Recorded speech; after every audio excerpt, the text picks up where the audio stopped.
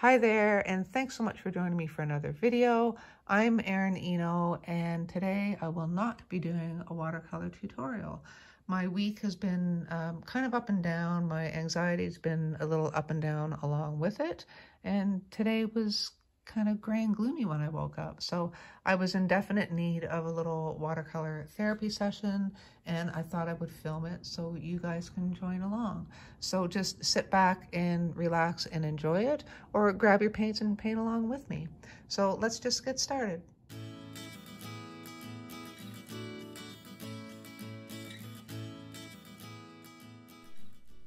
Today I have a sheet of my Baohong Academy cold press watercolor paper. It's 140 pound, 100% cotton. I have a sheet roughly 7 by 10-ish around there. I have my uh, Royal Talens Van Gogh watercolors, a jar of water and a paper towel on hand, and I'm just using one brush today. I've grabbed my Curry's uh, store brand brush. That's an art store near me. Um, and it's in a size 12 round. It holds a lot of water, but it has a nice point, so I can do pretty much anything with it. So today's painting therapy session came about because um, I've just been feeling a little anxious lately, and it's kind of a gray, dull day here, so I thought it would be nice to just kind of unwind and relax. So I've been doing a lot of paintings with, you know, some bright, vivid colors, really kind of stimulating colors. Either that or I've been doing um, tutorials about specific things. This is just a let go painting, okay? And I'm going to try not to use any vibrant colors. I just want this really kind of calm and peaceful and low key. I can tell you it will be flowers though, because that's just what happens. So I'm just going to start and lay some water down. You can even just, you know, splatter some water on.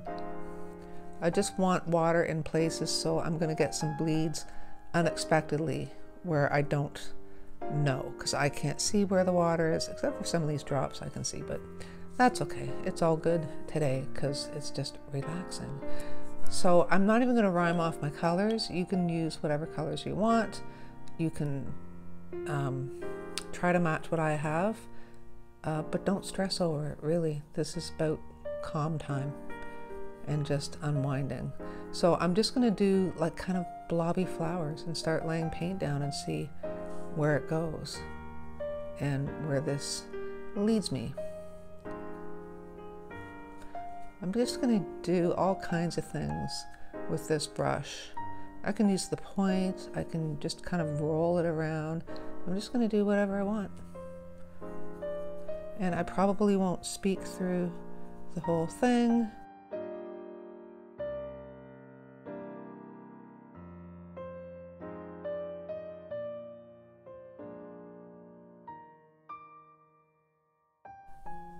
I'm just going to paint and you can listen to the pretty music. I'll probably say something if something kind of happens that I really like. I'll point that out because I'll be a little excited. And just where you put blobs down, that doesn't mean you have to leave that. You can just kind of blend that right out if you want. There's no rules here and it's just about letting go and letting the paint take you wherever it's going to take you. Bring in whatever colors you want. But I do want to keep it just kind of soft and low key.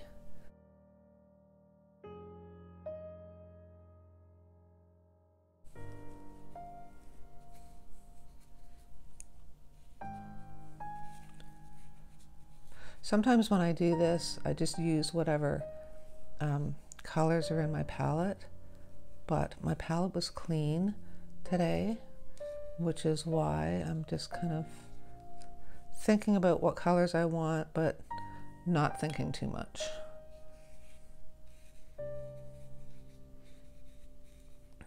And if you want to do something that's kind of muted and soft like this, um, and you don't have a lot of soft colors, like muted colors, if your colors are really vibrant, you can always take your vibrant colors, water them down so you get nice light washes, or even add in a color to kind of neutralize the um, the intensity of the pigment. Like maybe a maybe you have a warm gray, like um, or a neutral tint.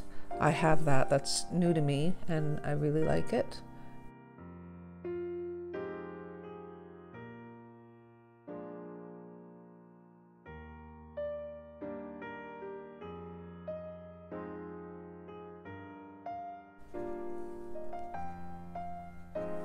But I'm just going to keep everything wet.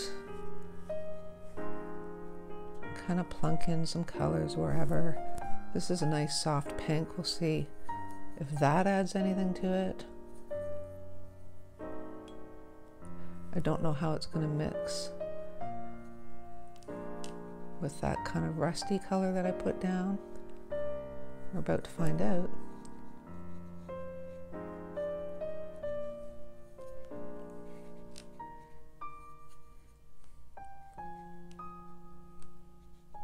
And don't forget, anything you put down here is going to dry a little lighter.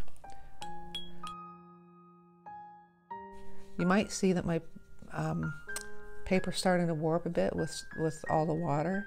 I didn't tape it down. You can tape it down if you want.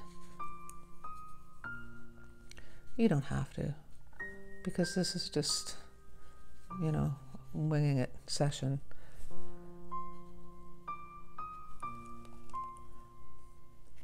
So do you just get to play around and experiment all you want.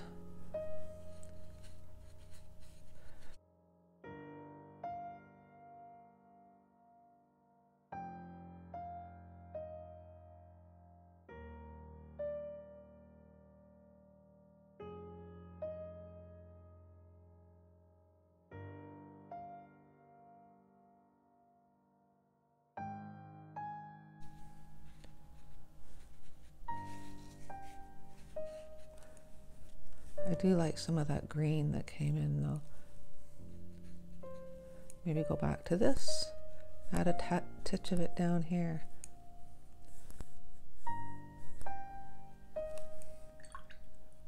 I think I will go in and get some of that neutral tint that I have so you can see what it's like.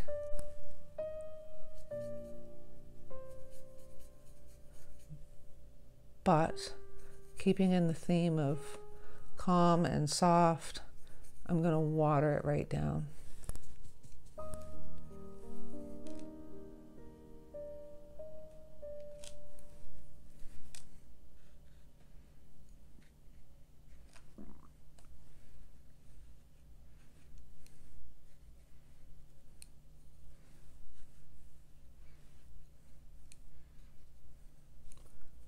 I'm going to take some more of that.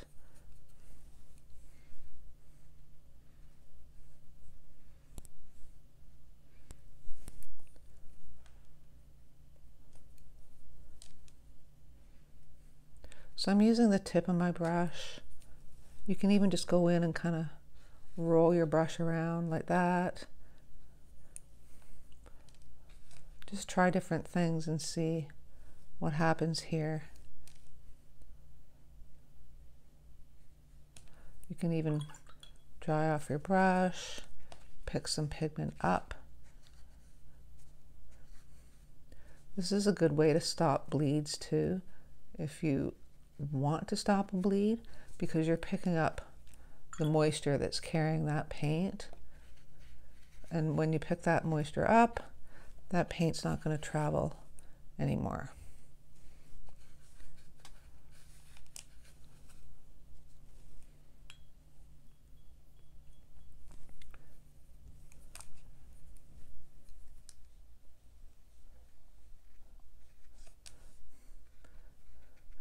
Okay, so even though this neutral tint is a darker color, if I leave it with nice soft edges, it doesn't distract from the softness of the painting. So you can go in and put that in just to kind of make the flowers pop a little bit. When I say flowers, I use that term loosely, as you can see, because they are not real specific flower shapes. I might throw some of that pink back in. Yellow's always nice and cheery.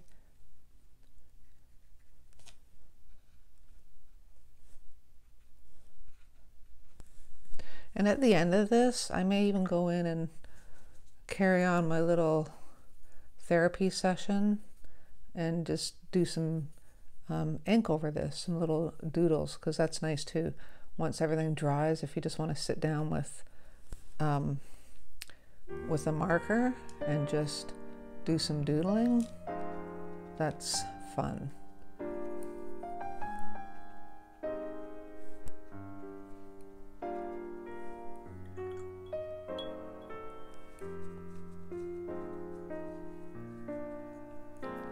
I have four flower heads in there that I can see and that kind of bugs me because I like odd numbers. So I'm going to go in and just plunk in another little blobby flower head somewhere. I don't know, maybe, uh, maybe up here. Just do a little blob. Throw in some pink.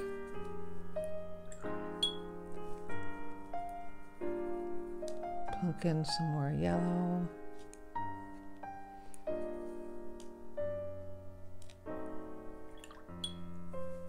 I kind of like what the green brought into.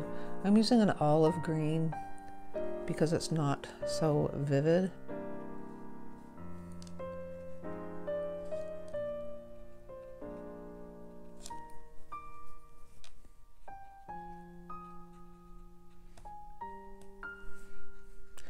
Think because this is so soft, I don't do a lot of ink and washes, and I really do want to give them more um, more of a chance.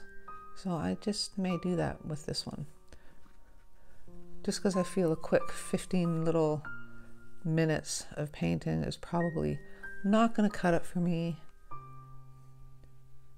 I'm just going to go in and put in some little hints of some stems. maybe some leaves.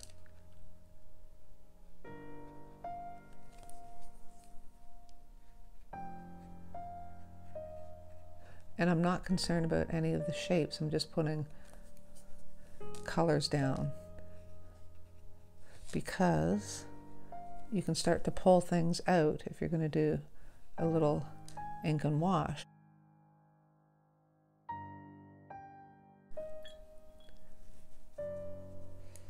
I'm gonna go try see what adding some more pink will do.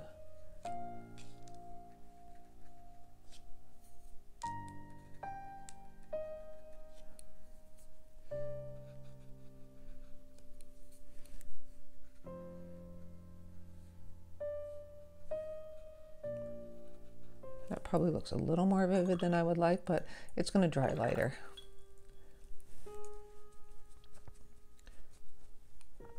So you can see there's little holes of white and everything. Nothing really matters here. It's just all about just putting things on your paper without a lot of thought. Other than I knew that this was going to turn into flowers.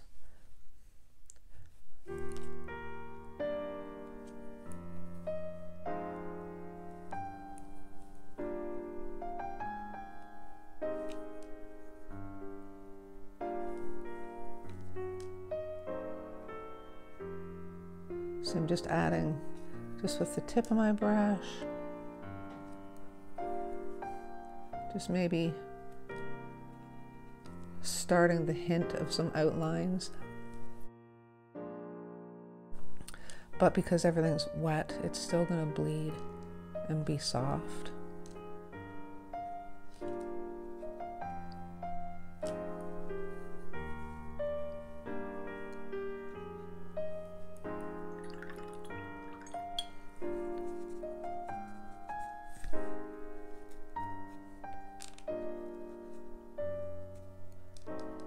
I think I'll just go in and start picking some paint up, see what that does.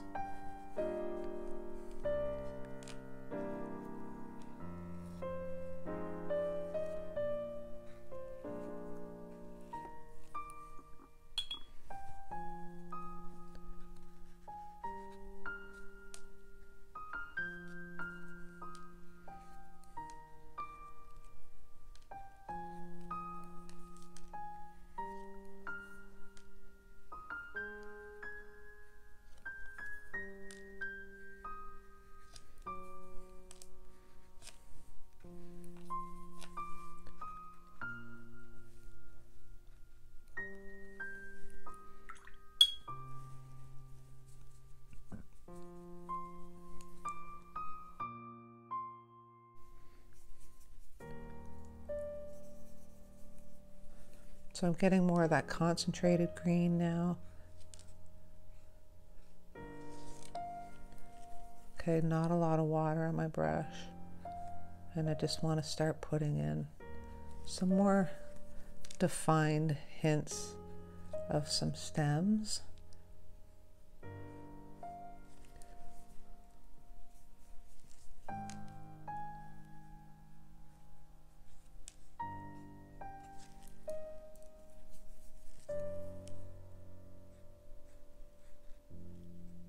So the less water I bring into this, the less it's going to bleed. But if yours is bleeding out, um, that's okay too. Everything's okay, right? When it's kind of abstract, no thinking.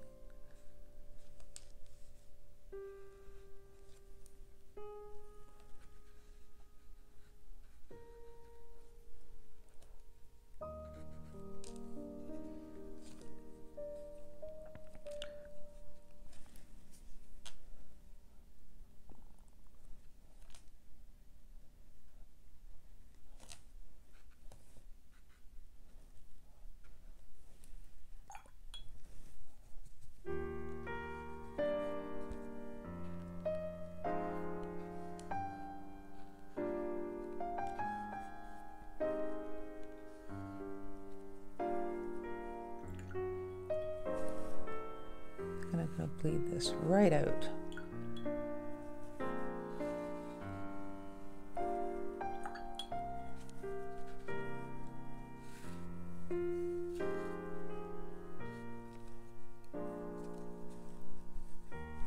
So just let go and have fun with this.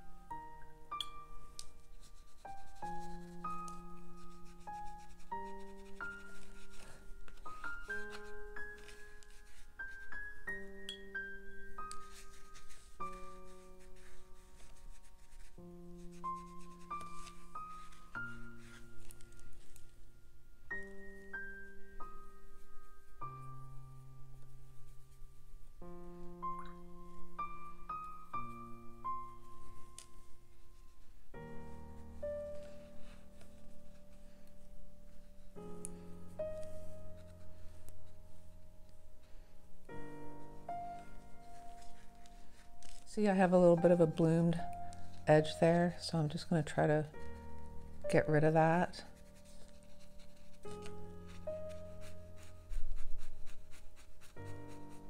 And if I can't, um, this is all about relaxing and not caring. And if it's going to stay there, it's going to stay there.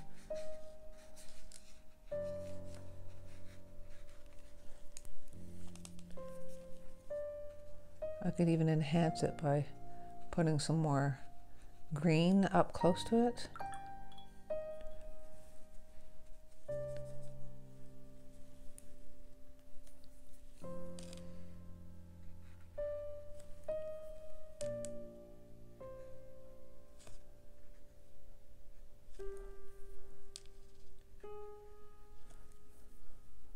So I'm going in with some real heavy pigment now, not a lot of water.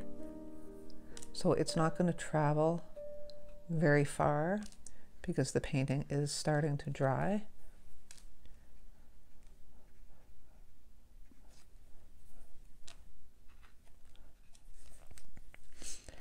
You see how you get some flowers just starting to come to life? Like I can see a bit of a rose there and a rose in this one.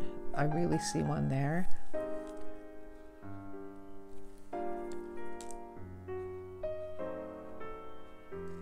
And I don't want to make it too literal, but I think I'm going to let this dry.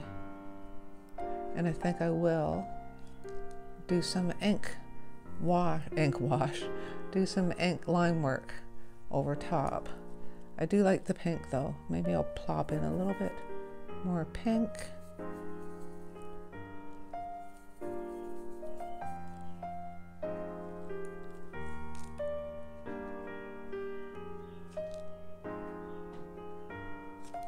Even the birds outside. I have my window open. I don't know if you can hear, but the birds are out in full force today, which is nice.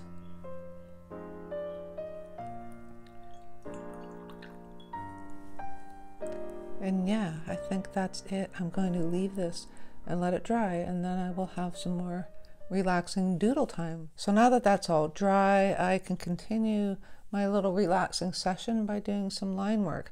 I've got a black Sharpie pen, which is bleed proof. So it is pretty decent on watercolor paper. And I'm just gonna start doodling some line work in here and trying not to be really too literal with, you know, petal shapes and whatnot just want to kind of play around. You can even sketch in some texture if you want. Highlight some of these stems coming down. But I'm also being kind of sketchy with these lines too, because I don't want anything to be too contrived.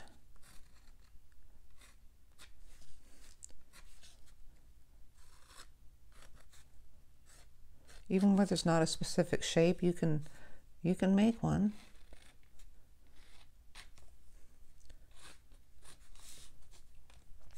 like I mentioned I don't do a lot of um, ink and wash but it's kind of fun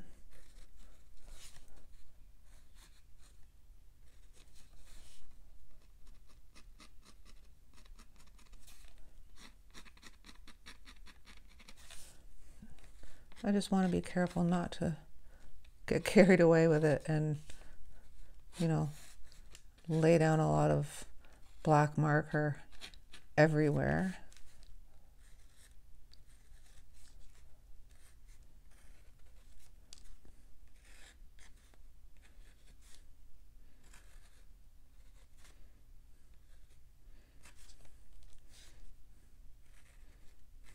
This one I thought really looked like a kind of a closed rose, so maybe I'll just put some lines like that.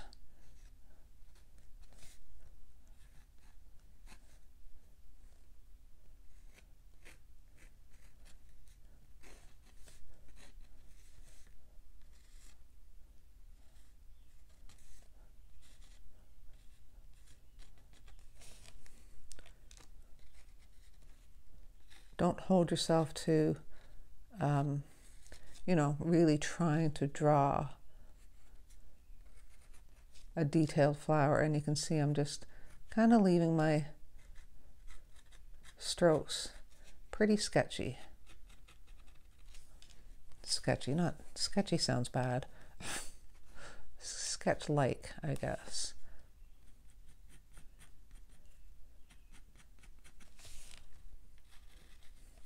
This guy is being neglected down here. I see that as kind of a center, so I just not quite sure how I want it to look.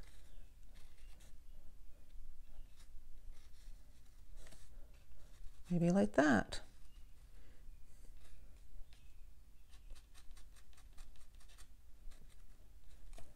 You can even, you know, go in and put some little kind of stamen things there.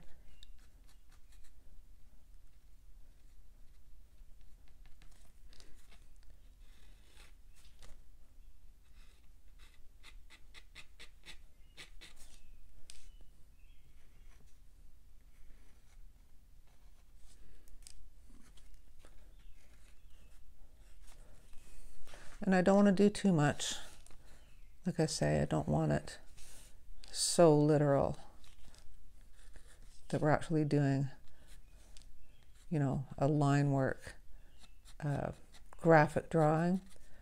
I still want it loose and rough. You can even just put another leaf up there if you want.